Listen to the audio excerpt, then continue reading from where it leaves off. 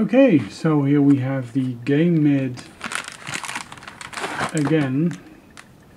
Uh, it's a blue one, and this is actually a version with a special firmware that allows you to.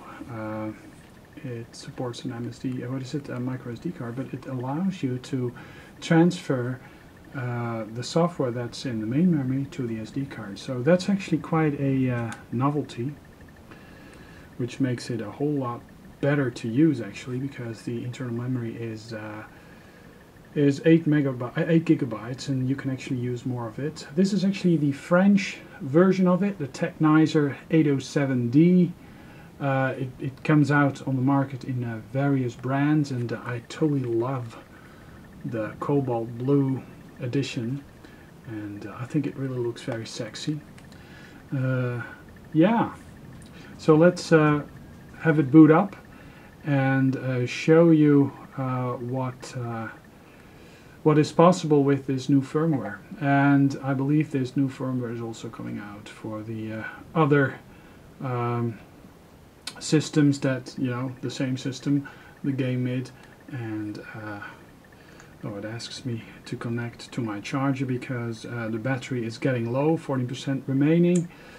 But as you can see, I've, I've installed a whole plethora of games. I've installed FIFA 14, Sonic 4, Episode 2, Epic Citadel, Dead Trigger, Afterburner, uh, Riptide GP2, Asphalt 8, Crazy Kart Racing, Real Racing 3, Grand Theft Auto 10 year anniversary edition, and Shadowgun and Rip, Riptide GP.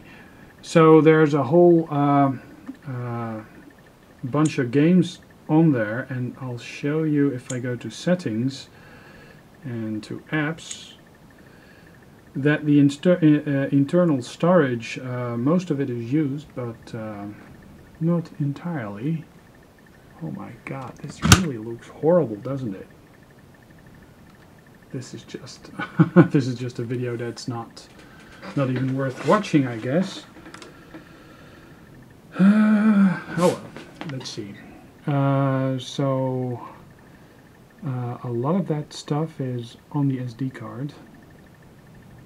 So uh, basically, uh, yeah, it, it gives you more memory.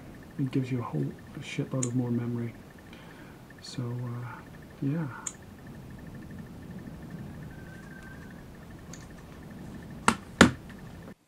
And now, a small preview of the video to come.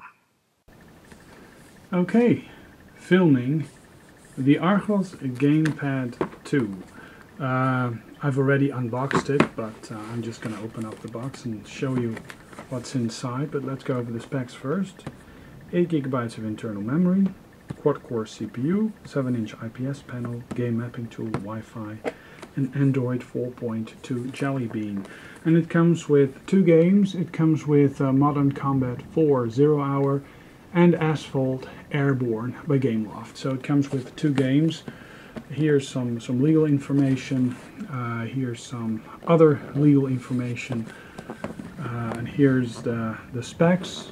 Uh, so the screen resolution is 1280 by 800. The uh, core quad-core ARM Cortex-A9 is running at 1.6 gigahertz, and the graphics uh, GPU that's a Mali 400 MP4.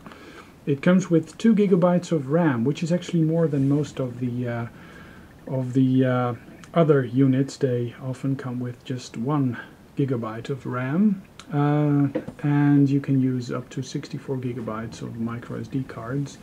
Um, and it comes with a couple of games and it has the Google Play Store installed so that's very easy. Um, yeah, let's go open up the package.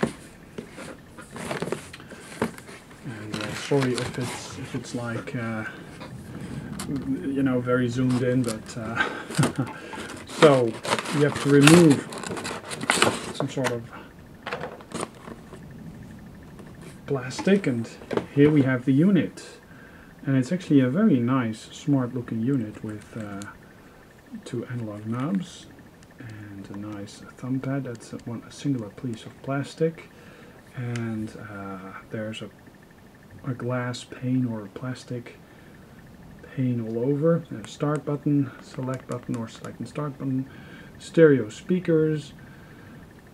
Archos Gamepad 2 it says. On the top we have uh, micro USB chart headphone jacket I guess.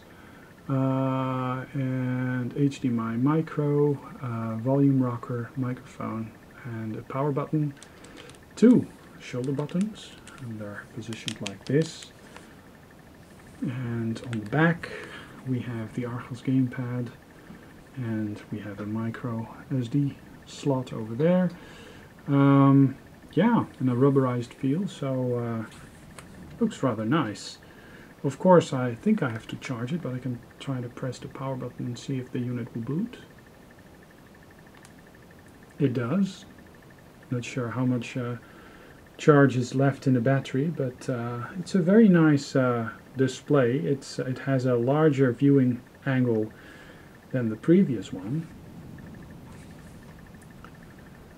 Okay, now the cool thing about this video is that I am going to compare the original Archos gamepad with the new Archos gamepad and of course the JXD 7300B and the is it, the, the GameMid. So which of these devices will be best?